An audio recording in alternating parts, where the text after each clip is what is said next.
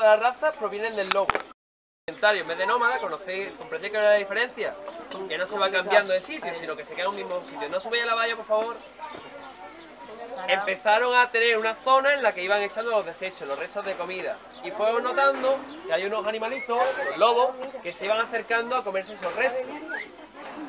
¿Qué pasa? El, el hombre fue observando poco a poco que había animales que a lo mejor eran menos agresivos, Ah, en ningún caso atacaban al hombre, eh, no, no, se lo planteaban, pero había casos en los que eran más, más cariñosos, se pegaban más, a lo mejor eran más rápidos, y fueron empezando a domesticarlo. ¿Qué pasa?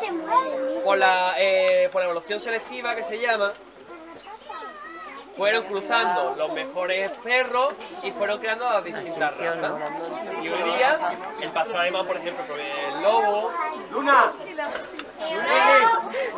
Mira, va a venir. Mira, mira, mira cómo viene. Mira, mira. Pero es un lobo, mira. Es loba. Mira cómo le mueve la cola.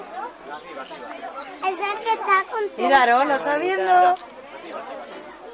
Parece una oveja. Mira.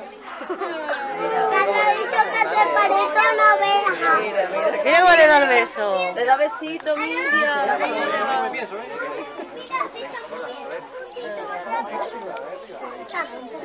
Ya, que los lobos son muy malos, mira mis manos.